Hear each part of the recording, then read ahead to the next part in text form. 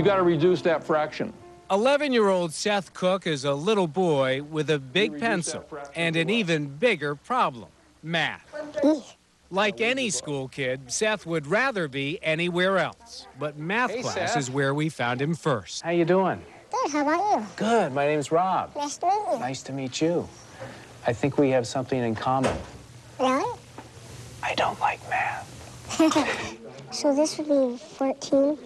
With a disease that perversely turns years and numbers upside down, maybe it's no coincidence that Seth and math have always been at odds. I saw your report card. You're passing. Yeah. Yeah. So you don't know the date on that report card, though. Oh, things have changed since the last report card? A little bit. Though she had concerns, Patty believes Seth should go to public school rather than be homeschooled. But Seth's father, Kyle, was uneasy, considering the fact Seth is just over three feet tall and weighs only 25 pounds. Dad was worried he was going to get picked on, picked on or get knocked over. And get hurt. You were worried about that. sure, if you stand him up right now, again, you know, next to his classmates, they just tower over him. Saturated Fat by Seth Cook. On this school day, Seth is offering his sixth grade classmates a living lesson in nutrition. Saturated fat plays a big role in my life. My body is getting older faster than most people. But amazingly, what others see as a burden, Seth sees as a blessing. I'm one of 40 kids in the whole wide world that has progeria. So it's really neat. By the time he was in grade school, he knew that he was special, and we'd always told him that he was special. At 11, Seth is about the size of an average two to three year old, and this is as big as he'll ever get. He's a young boy trapped in an old man's body, no hair, wrinkled skin, and severe arthritis, especially in his knees and hips. But you remember it's his fragile cardiovascular system with the imminent threat of heart attacks, seizures, and strokes that poses the biggest risk to Seth and other progeria kids. French fries, ribs, cheese, and cookies. Seth has to read nutrition labels and limit his fats. What are things that you want to eat but you just can't eat? I don't get corned beef hash all that often. Still, Seth doesn't seem to dwell on what he can't have. He focuses on what he can do. And he's about as well adjusted a preteen as you could find, who's best friends with his ubiquitous dog, a rat terrier named Bullet, Oh, oh I jumped right into that. and crazy Oh, for nice Xbox games. How many hours have you logged with Xbox? I don't know. I'm, I'm happy though because Xbox doesn't tell you how long you've been playing. You don't want to know? I don't want to know. Even with stubbed fingers, a common characteristic of progeria, Seth has become adept at the controls, an activity at which he can compete on an oh. equal footing. I think this is the home court advantage right here. But with fragile bones, he's fearful of playing team sports or roughhousing with rowdy friends. He said, Those kids are crazy. they run around. He goes, I get knocked over, Mom. He usually himself will not do something if he's not confident. Ready? Up. Buckle in.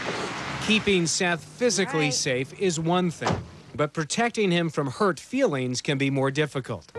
Like the time a young girl was adamant that Seth was actually a toy. She walked up to Seth and told him he was not real. You're not real, she said. You're not real. Mommy, look at this boy. He's a doll. He's not real. And I was in shock. I didn't know what to say. I decided to apologize to Seth for how she had acted. And he said, Mom, why are, why are you sorry? I said, some of the things she said weren't very nice. I thought maybe they were a little bit rude. He says, Mom, she just doesn't know who I am. Nancy was very happy We couldn't wait to play his trick again. That gave Patty the idea to introduce the real Seth to every incoming kindergarten student at Darrington Elementary School. She carried the coconuts home in a basket and set them on her porch. I realized there are going to be kids that don't know who he is, but in Darrington, we have control of that. On many Mondays, Seth reads a favorite book to an enthusiastic class of kindergarten students.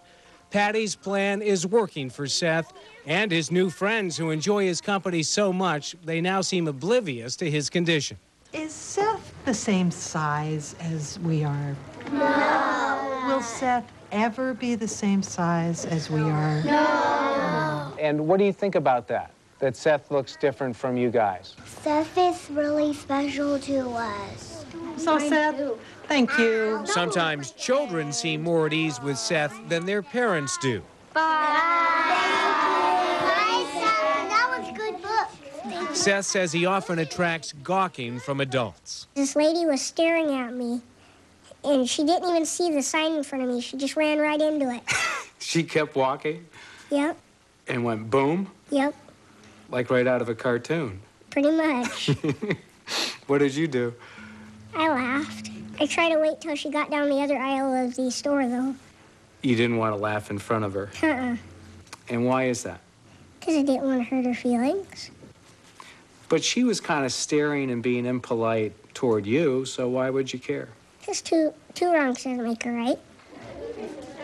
There's a big advantage to living in a small town like Darrington, population 1,200, where Seth gains confidence and security by knowing virtually everyone. Yep, there's the bubbles. We were buying bubbles for a game Seth Miracle plays with his dog. Seth, this is the first time I've ever put bubbles on an expense account. And there was one more important purchase before we left energy vitamins.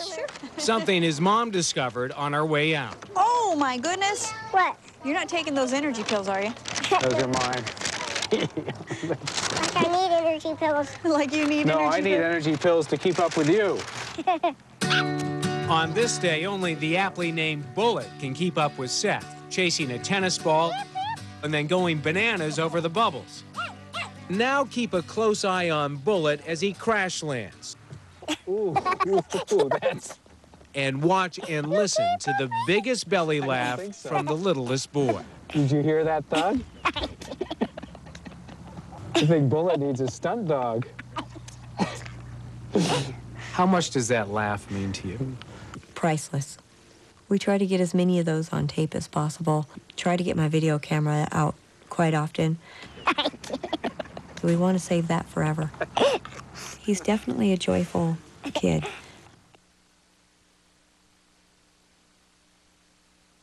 America's Got Talent salutes the dreamers, those who think they have what it takes to win a million dollars in the biggest talent competition ever held. So here's to you, Mr. Flexible, and you, horny guy, and whatever you are. America's Got Talent, all new Wednesday, 9, 8 central on N.